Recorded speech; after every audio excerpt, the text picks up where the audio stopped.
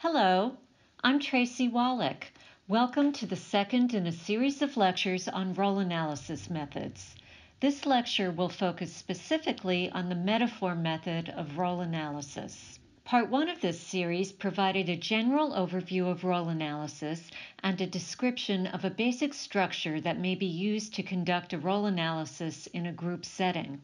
Remember, Long defined role as the intersection between the person and the system.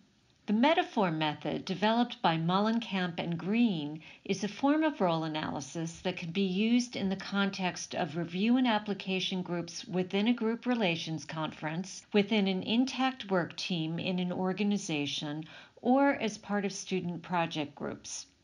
The metaphor method is a way of understanding more about the informal roles one takes up. Here, participants are asked to consider the roles they and others take up in terms of metaphor. It is a whole group activity that can help surface hidden projections between group members. The process goes as follows. In the first step, each member is asked to think about the roles they have taken up in the system in the form of a metaphor. In one or two words, they write the metaphor for their own role on a post it note.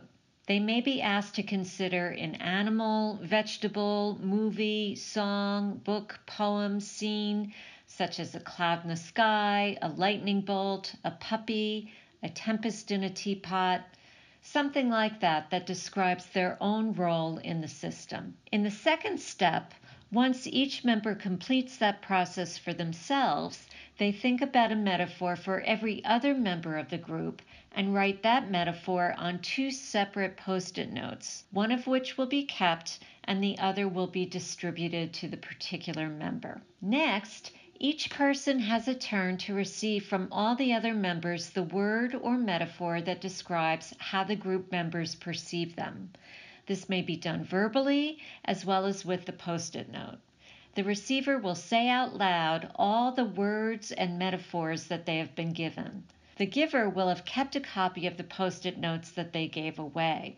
The receiver will also share the metaphor that they gave themselves. In step four, the person is invited to look for common themes, contradictions, or a single narrative that ties all of the metaphors together, including their own. When everyone has had their turn at the end of this process, each person in the group will end up with several post it notes that they have received from other group members, plus copies of the post it notes or list of metaphors that they have given out to others.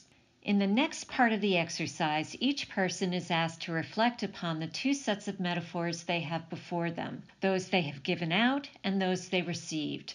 The following questions may be useful.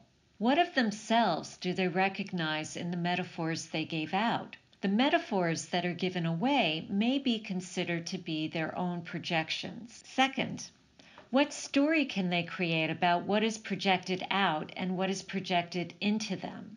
What are they now aware of about themselves? What will they now do as a result of what they have learned from the story? When everyone has shared their reflections, invite the group to reflect on how they might be using individual members to take on unwanted aspects of the group. How might individuals be used in service of the group?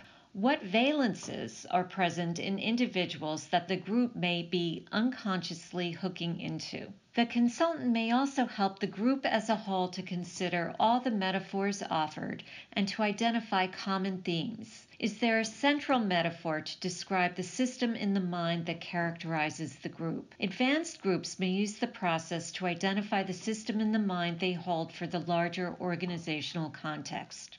For further information on the metaphor method and role analysis in general, please see the following references.